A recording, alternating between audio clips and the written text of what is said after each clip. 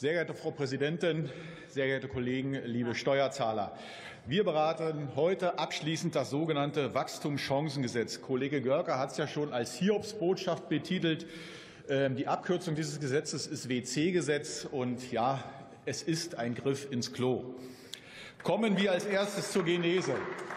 Am Abend vor der Ausschusssitzung um 20.18 Uhr erreichen uns 32 Änderungsanträge mit insgesamt etwa 100 Seiten. Und wir, die Abgeordneten, sollen uns dann über Nacht eine fundierte Meinung dazu bilden. Einen, den letzten Änderungsantrag, bekommen wir sogar live in der Sitzung hereingereicht. Dazu kommen dann noch sieben Protokollerklärungen, in denen Sie uns dann erklären, Ihre Ampel, dass das Gesetz halt doch nicht so gut ist, wie es nach außen vertreten wird. Es ist genau das gleiche respektlose, unprofessionelle Verhalten wie nachher beim Zukunftsfinanzierungsgesetz. Das ist ein Muster. Die Ampel kann es nicht besser. Der gute alte Bismarck hatte schon recht, als er sagte, bei Gesetzen und bei Würsten sollte man lieber nicht dabei sein, wenn sie gemacht werden.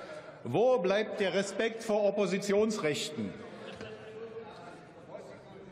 Wo bleibt der Respekt für die Mitarbeiter, die Nachtschichten einlegen mussten? Kommen wir zum Inhalt. Der Entwurf ist ein schönes Negativbeispiel der deutschen Bürokratie.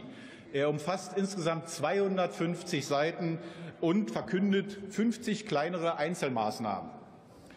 Damit will man nun die große Rettung der deutschen Wirtschaft verkünden. Ein paar Stellschrauben hier, ein paar Marketing-Schlagworte da, und schon laufen wieder die Geschäfte und die Steuerzahlungen sprudeln.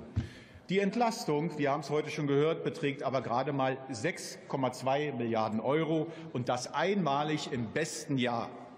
Um mal die Verhältnisse klarzustellen, in den letzten vier Jahren, nee, die Steuereinnahmen stiegen allein in den letzten vier Jahren 183 Milliarden Euro jährlich. Der Staatsapparat gibt jetzt mit gönnerhafter Geste und nachdem man sich durch 250 Seiten Paragraphen